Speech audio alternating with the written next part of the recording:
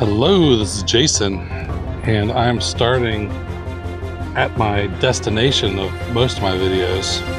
I'm already at my little picnic table bench, and I perfectly timed the sunset right at the tips of the trees. Beautiful, glorious.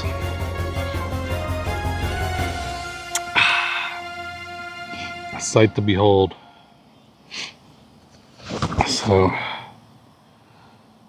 I'm just sitting here soaking up the view, taking a quick breather.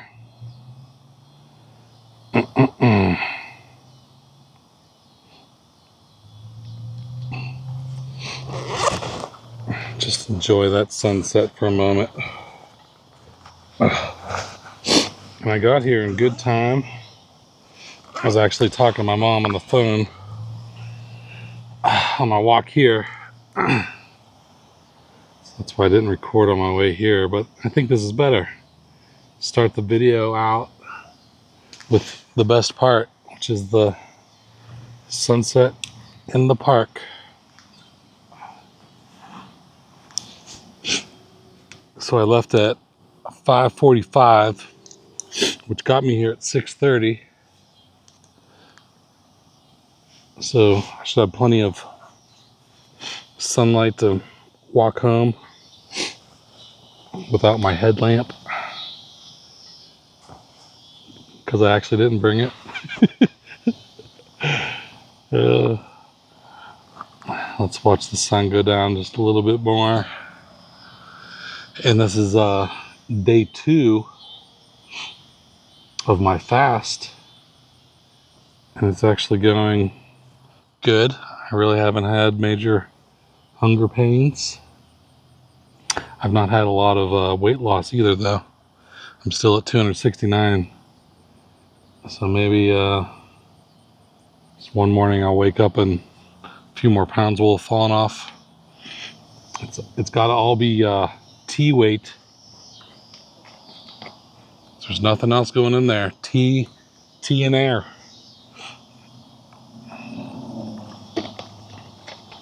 What I'm living on.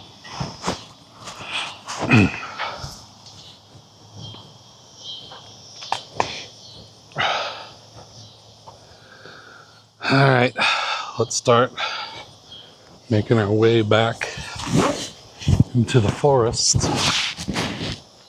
And I only brought one camera today. As we walk forward, the sun will fall behind the trees.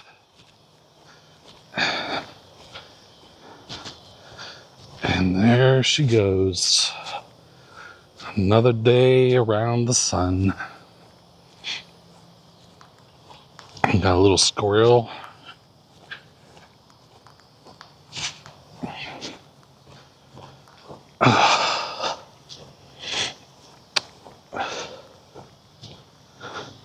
We only have a finite number of days, only so many sunsets we're going to be able to see. You ever wonder how many you got left? I do.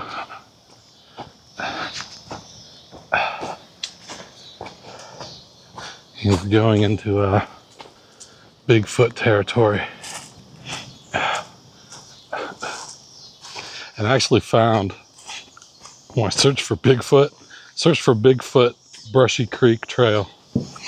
Someone, I think it was like 2018 maybe, recorded a Bigfoot. There was a Bigfoot sighting.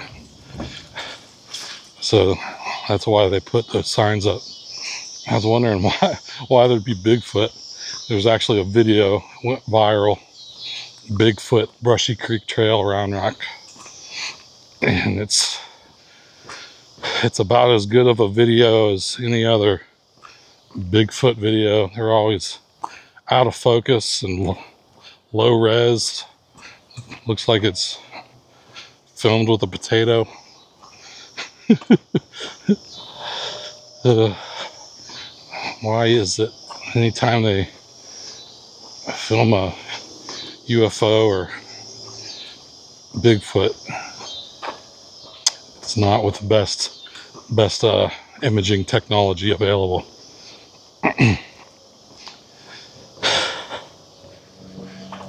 Although in recent years with those military videos of the Tic Tacs, they got on the, the Go Fast video, those are actually pretty clear.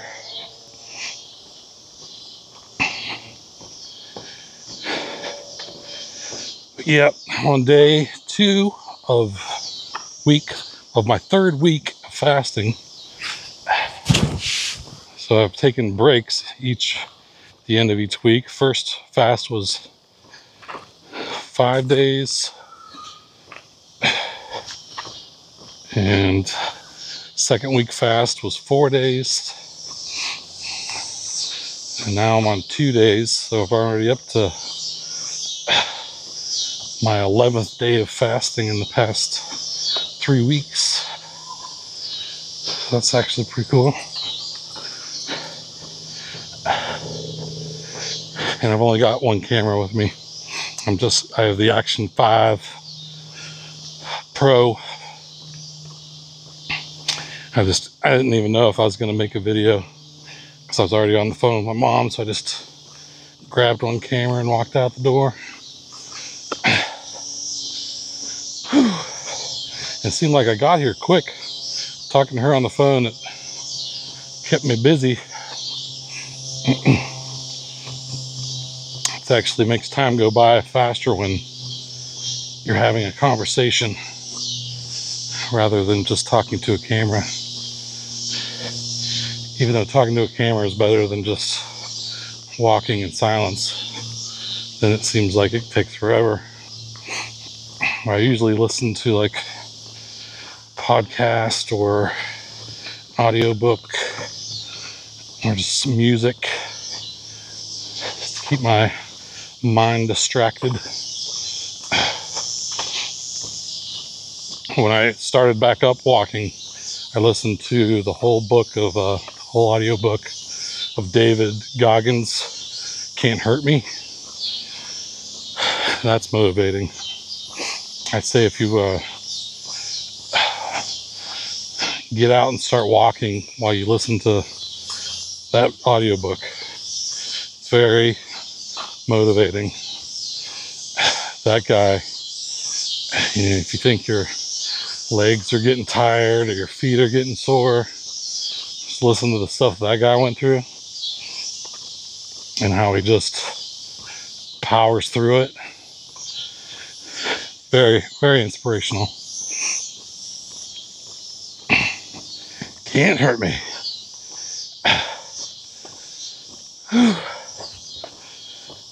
so tomorrow is the uh, Mounjaro shot day. So even though these first two days haven't even been that bad, they're usually the the hardest days. as far as like hunger pains go. So like tonight will probably be the worst that it gets as far as feeling hungry. Then when I wake up tomorrow, give myself a Mounjaro shot, and the hunger will go away. And then that should power me through Friday. So I'm just going to Friday, 4 p.m. And then get to eat. This weekend I'm going uh, to a steakhouse with my friend Misty. It's her birthday weekend. So we're going out for some steak. Might even go downtown Austin for a little bit. See what happens. And I'll just eat this weekend, eat whatever I want. Although trying to keep it as low carb as possible is better long term. Think it would be best if I just ate keto on the weekends so I keep my body in fat burning mode. Once you get out of ketosis, it takes like another two days to get back into ketosis. So you're really wasting two fasting days if you start, you know, breaking a fast and eating a spaghetti and bread, sugar.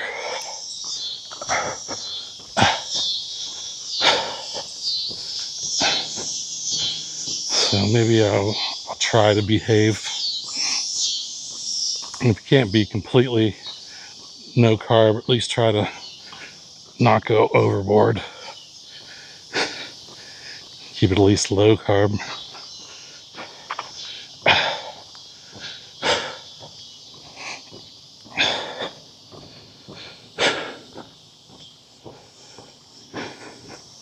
And then I'll see how long I can keep this up.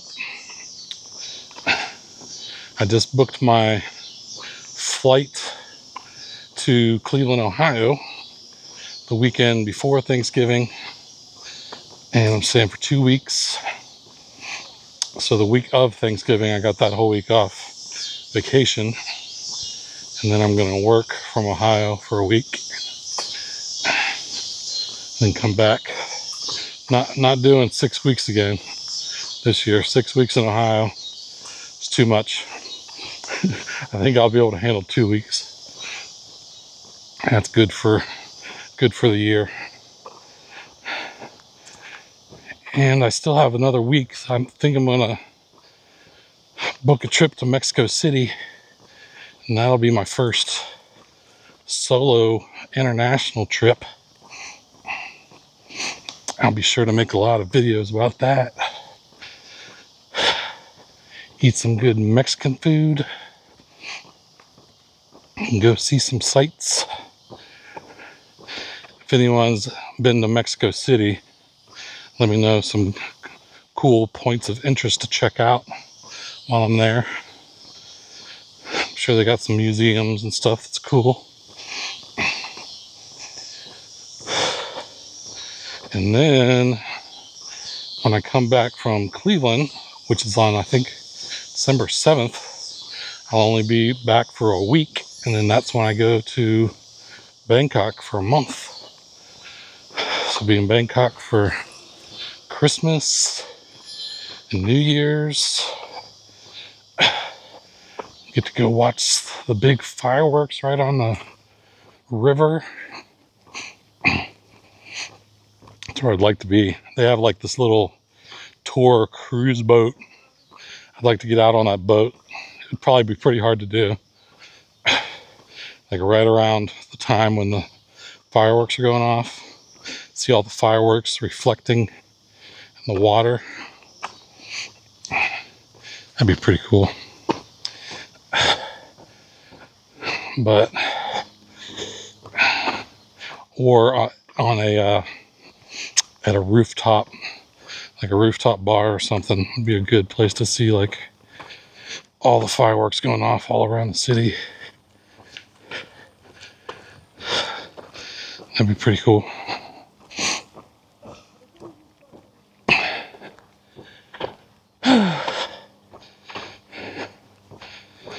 And then when I get back from Bangkok, be around January 15th,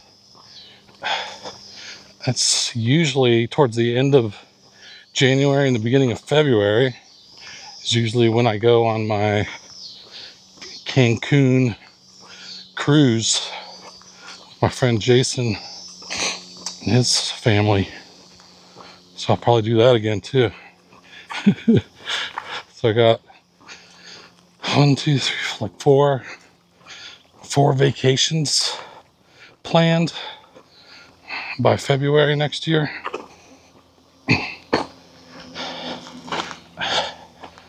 A lot of traveling, traveling with Jason. Those will all be on my Jason Michael Phillips main channel. So if you're not subscribed to my main channel, make sure you're subscribed. Links in the description. I put the link to my main channel in the description of all my videos here. Yeah. I don't know why you'd be subscribed to some more Jason when you're not subscribed to the main Jason channel. What's wrong with you?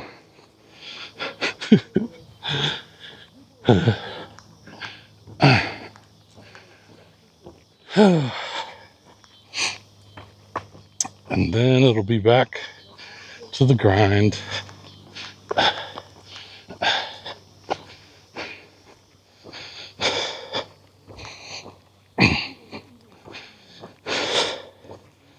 Don't have anything planned after that. Then it'll just be waiting for uh, Bitcoin to go to the moon. waiting. I'm hoping that Bitcoin's at least at 90,000 by New Year's Eve. And then hoping it's at 300,000 by November, I'll say by Thanksgiving 2025.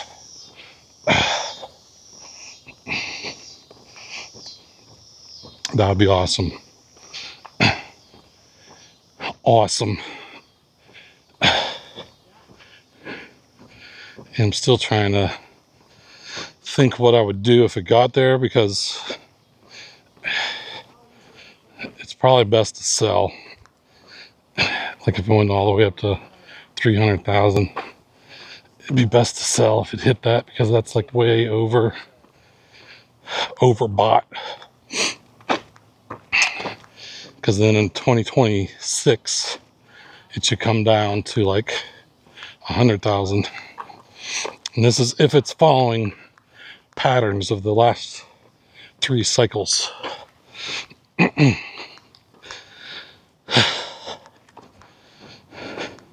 but the worry is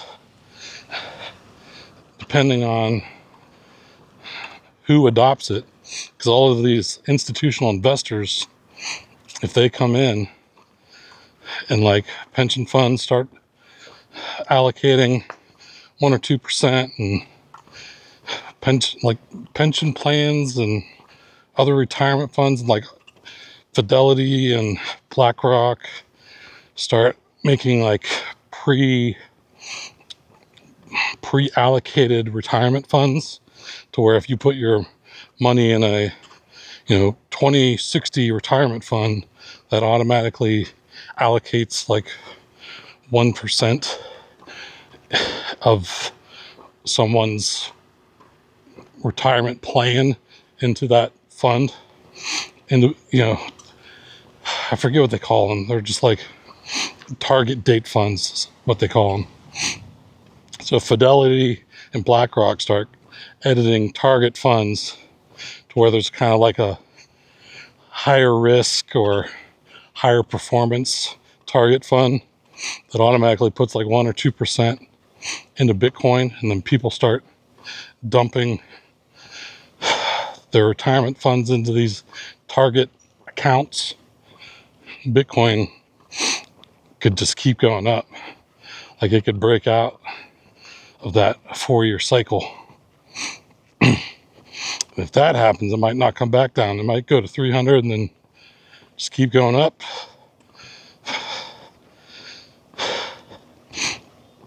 And the target is like a million dollars per Bitcoin by, I think it's two cycles. So it would be 2032,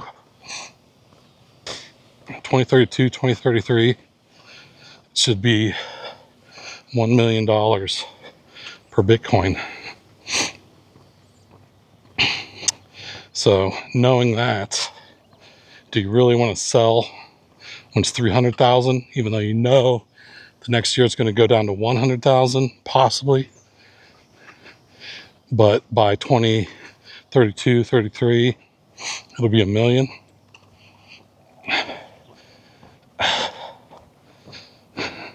That's what I've been thinking about. Because you could sell at 300 thinking that the next year it's going to go down to 100 and you'll buy back in. So you'll be able to get three times the Bitcoin allocation that you would have had if you just held on to it during the dip.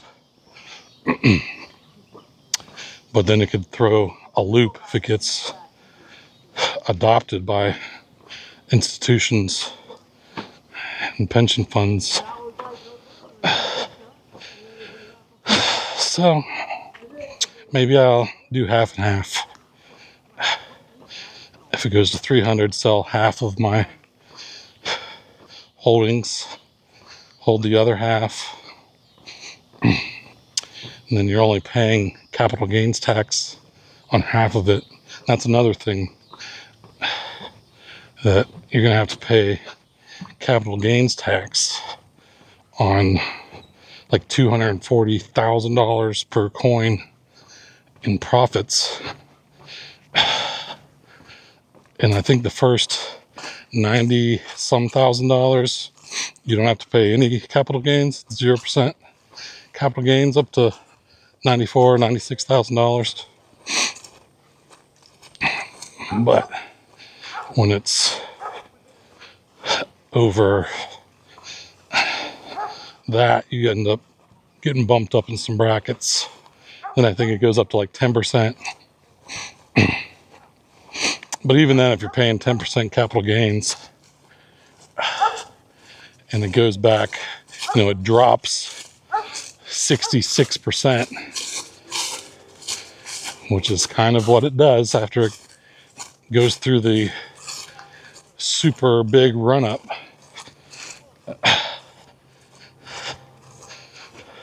At least previously.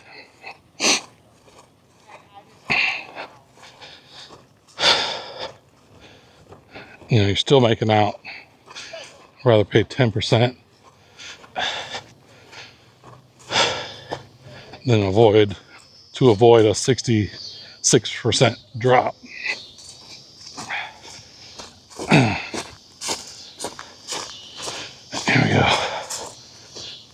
Head that guy off at the pass. Man, my right foot, I got blisters on top of blisters. I still got covered it up with the moleskin, but blister, blister, blister. I don't know what I could do to help prevent that, just switch up other shoes. I might put some uh, pressure in a different spot if I wore a different shoe. Could be what I do. I don't think I need the sunglasses. and this guy's really talking, really talking loud on his phone back there.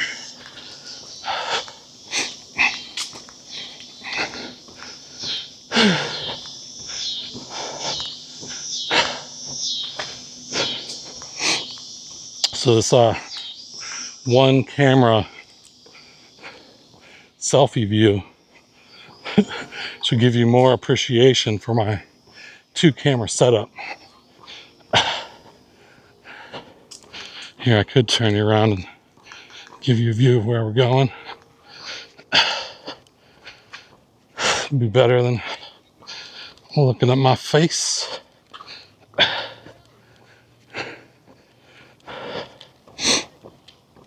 More awkward when I'm holding a camera and pointing it at people than just having one on my shoulder that's pointing at people. This is like intentional. I'm intentionally filming. Or if it's on my shoulder, it's just incidental. I'll turn it at myself. There's someone so I don't feel so awkward. I feel like I'm sticking it in somebody's face. Oh.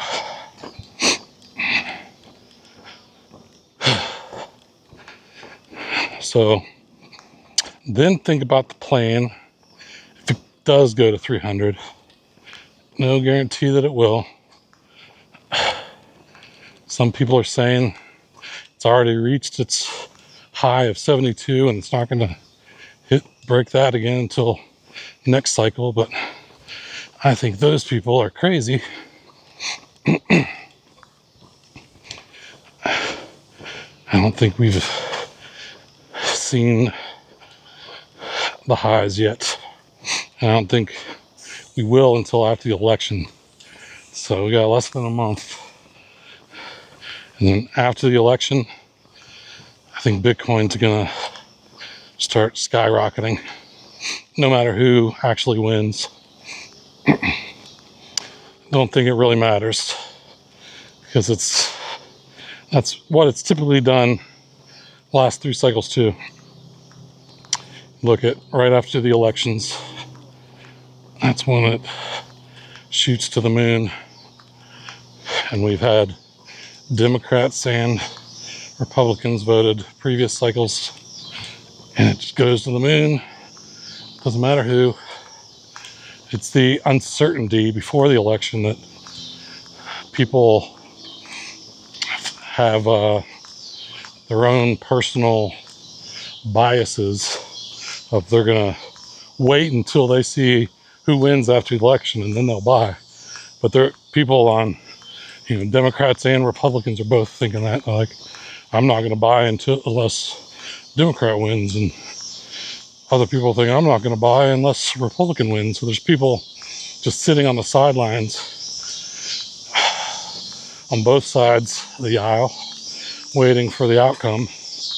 And then no matter what the outcome is, one 50% of people are going to buy in and that's going to cause it to go up. And then the other 50% of people that were sitting on the sidelines thinking that it's going to go to zero if the other other candidate won sees that it's not, it's actually gone up by you know 20% and they're like, "Oh crap. I was wrong. It's not going to go to zero if the other person won." and so then they FOMO in and now everyone's buying in. So I think by the after between the the end of the election, once the winner is declared, hopefully it doesn't. It's not like another 2000 where hanging chads and people have to wait for months to find out who won. But if we find out like who won on election night, which we should, then pretty sure that Bitcoin will be pumping by the end of the week. And then, so from November 6th, 7th, 8th to the end of the year, I think we're going to get up to at least 90,000. And it'll just keep going from there.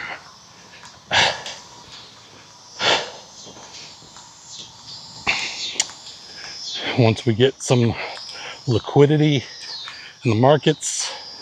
Bitcoin loves liquidity. If we get some more rate cuts, some more free money, the almost no matter what happens, it's good for Bitcoin. Like if we started going into a recession, then the Federal Reserve would have to cut rates. Like if they cut rates to zero, then that's free money for capital markets. So people like Saylor, Michael Saylor, will be taking out billions of dollars in 0% interest loans and buying Bitcoin with it, as well as other people that are doing the Bitcoin strategy. And, you know, the Fed starts printing a bunch of money. then that devalues the dollar, which Bitcoin is the inverse of a devalued dollar because it's a finite supply. And finite resources are static against a devalued currency. So the, the value of that static asset goes up in relation to the dollar value going down because it takes more of the devalued dollar to buy the static asset.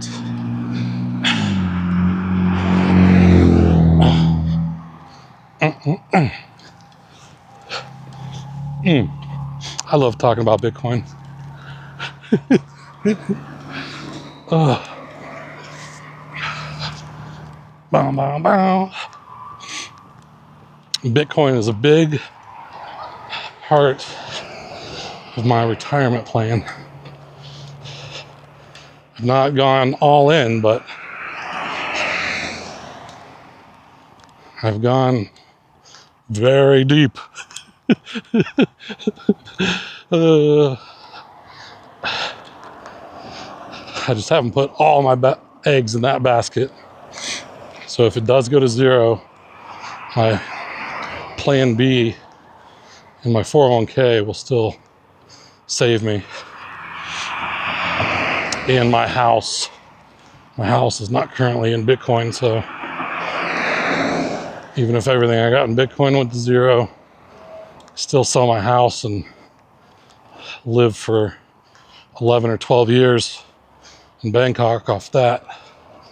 That's if I just get 400,000 for it. I'm hoping that uh, as interest rates come down, that the value of my house will go up. Especially if a uh, Kamala gets in and does that $25,000 house buying program. That'll just at least boost to 25,000 but it'll really put even boost it more than that because there'll be so many more people trying to buy houses that won't be enough houses for them to spend their $25,000 down payment on. So house prices could go up 10, 20%. Now it'd push me back that's that would put me back to where they were like in 2022. House prices went crazy around 2022 because there was such there was a lot of giving out free money and that everyone was trying to buy houses and just put they're trying to find ways places just to put cash because feds print so much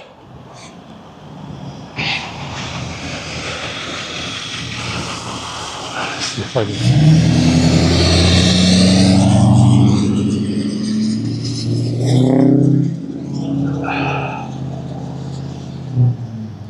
and navigate navigate this.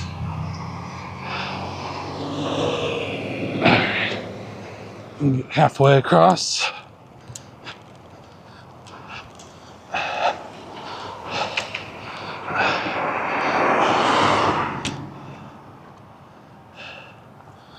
And I made it.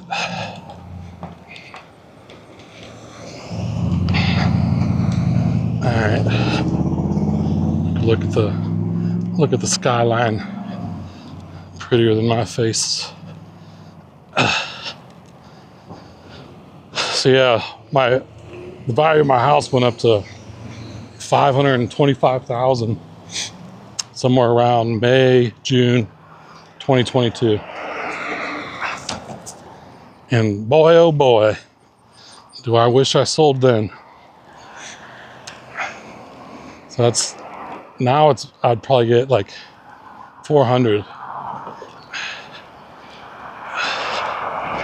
So that's pretty pretty big dip in value.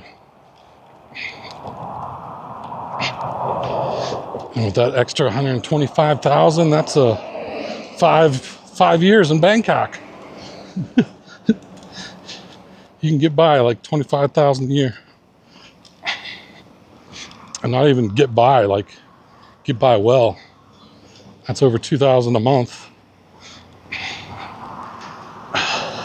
Get a condo for like 500 bucks a month.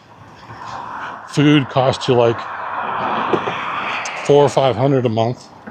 So there you're at a thousand. So you got like thousand dollar a month baseline for place to live and, and food to eat. And then you have a whole another thousand dollars a month to spend on entertainment. Doing whatever you want. That's a thousand bucks goes a long way on entertainment. It costs like five dollars go to the movies.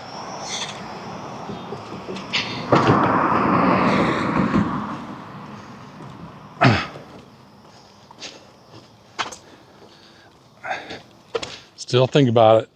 Bitcoin in Bangkok every day. Thinking about Bitcoin, thinking about Bangkok, thinking about Bitcoin in Bangkok every day. uh, and how I'm gonna retire and get out of the rat race. Those are the main topics. So if you like discussing those topics, you are in the right place. Because I love discussing those topics.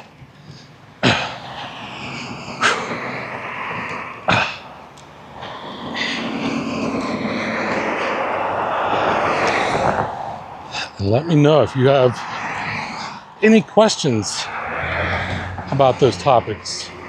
I'd be happy to answer and elaborate on any of them.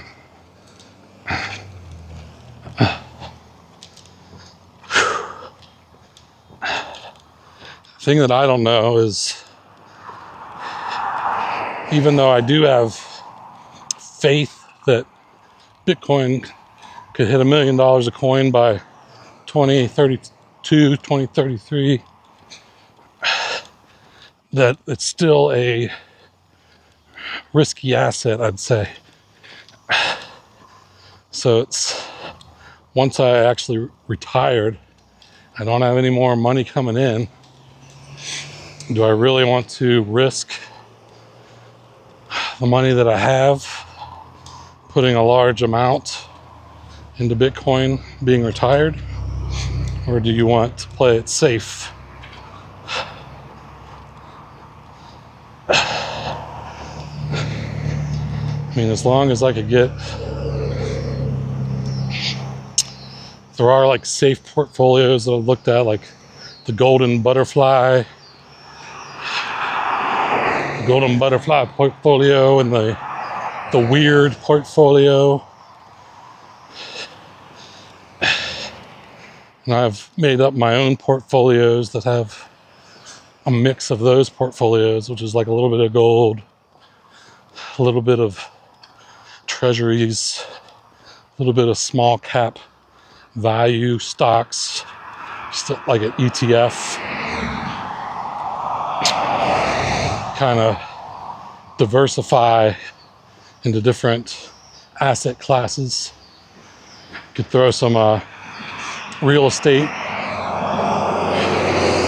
REITs in there, like VNQ ETF.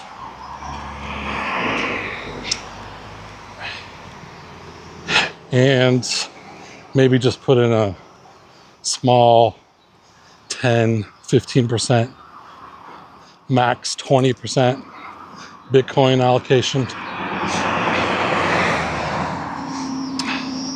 which when you're retired 20% would be i think as much as i'd want to go. I think. I mean there's still bitcoin maxis out there that have 100% of everything in Bitcoin and they, that's, they're just riding on Bitcoin. It just seems so scary to put all of your eggs into one basket, no matter what it is. Even if someone told you, like, NVIDIA is a sure thing over the next 20 years, it's just going to keep going up and up, which is probably true through the adoption of AI. But I mean, anyone could come along and I would say that buying an individual stock is more risky than buying Bitcoin because there's not going to be another crypto asset that replaces Bitcoin or gets more widely adopted than Bitcoin. That's kind of like it it won that race, in my opinion. There can only be one Bitcoin. There could be a ton of other crypto assets that do other things, like Ethereum with their smart contracts and building other apps on top of it and stuff. I mean, they have their utility, but they're they'll never get more widely adopted than Bitcoin. And like there's a Bitcoin ETF right now, and there's already going to be institutions coming in. Once that happens, the the uh, market cap of Bitcoin is just going to go to the moon. It's just over like one trillion now, which is still like less than one percent of the value of all the world's assets. So if Bitcoin just gets to like 20, 10, 20% of the world's assets are held in Bitcoin, that would be like 20 to 40x from where we're at now.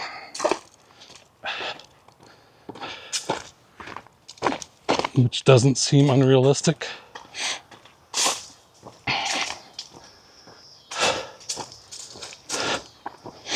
So I still have a lot of a lot of faith, I guess I'll call it, that Bitcoin is going to be that widely adopted.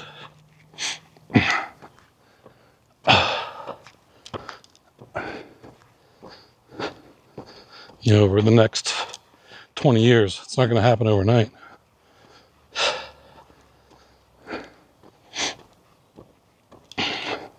But I do think it's going to happen. Slowly, then suddenly.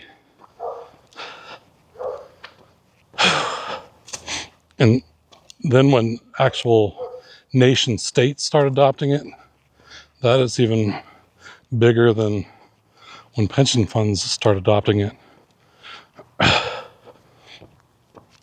like when they start countries start backing their currency or or allowing it to be traded as a currency. We've already had uh, candidates in the U.S. talk about having a strategic Bitcoin stockpile. That will, if the United States does it, almost everyone else will do it. And I'm sure there's already a bunch of countries that are doing it secretly right now. It's not something you really want to announce that you're doing. But I think the way that the laws are in the United States, they would have to declare it. That would be public information. But there's other countries that are not as open as the United States.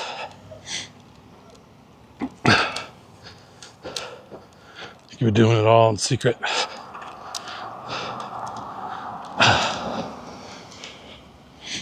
But once the United States is actually doing it, everyone will do it. And what happens when when you can actually print money and buy Bitcoin? You could print as much money as you want, buy as much Bitcoin as you want, but there's only a limited supply. So you have to keep offering it to buy it at a higher and higher price. And that's when there's hyper Bitcoinization is the term. When everyone wants to get in on the Bitcoin train. But there's not enough supply.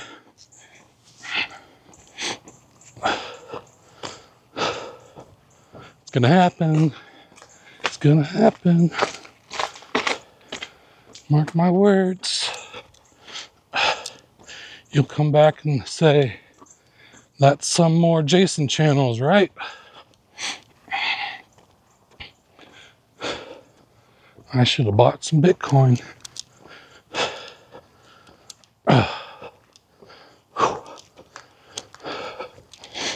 And it's been just hanging around 60,000 for months now. It's just waiting to take off.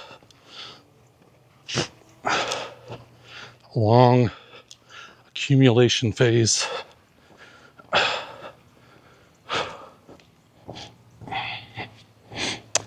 Well, I made it home, back on my street. So, thanks for hanging out with me listen to me talk about my favorite things Bitcoin in Bangkok and fasting.